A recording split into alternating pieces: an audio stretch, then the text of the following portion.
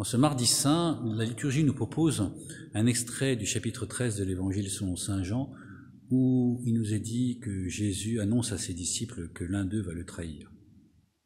Il est dit que les disciples alors se regardent les uns les autres avec embarras, ne sachant pas de qui Jésus parlait.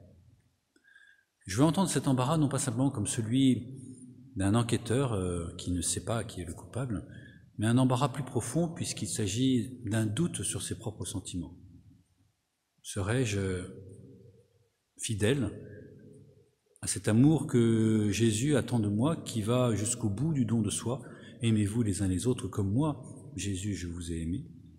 Serais-je capable d'aller jusqu'à mourir pour euh, ceux qu'on aime, comme nous invite Jésus?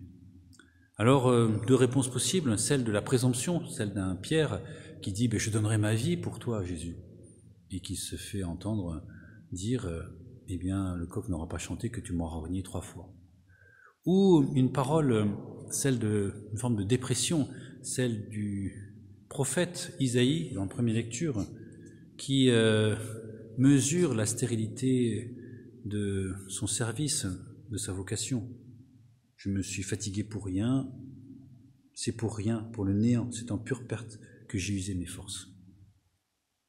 Alors si on se pose effectivement la question de notre fidélité à partir de notre propre évaluation de ce que nous sommes capables ou non de faire, eh bien nous tombons dans une fausse piste. Un peu comme dans une histoire amoureuse, où il s'agit d'abandonner le jugement que nous pouvons porter sur nous-mêmes pour savoir si nous sommes capables ou non de nous engager pour la vie, d'aimer jusqu'au bout, librement, fidèlement, indissolument et avec fécondité celui ou celle avec qui on s'engage. Non, abandonner cela pour euh, s'en remettre au jugement de l'autre. S'émerveiller du regard que l'autre porte sur nous. Entendre comme Isaïe le fait, euh, entendre à nouveau l'appel que Dieu lui adresse. Ce n'est pas simplement comme serviteur que je t'ai appelé, mais je fais de toi la lumière des nations.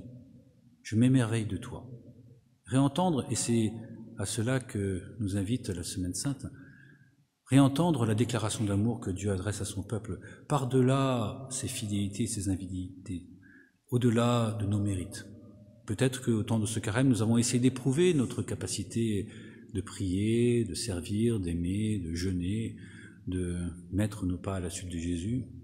Mais tout cela, nous le remettons entre les mains du Seigneur, nous laissant aimer tel que nous sommes, accueillant de lui notre vocation divine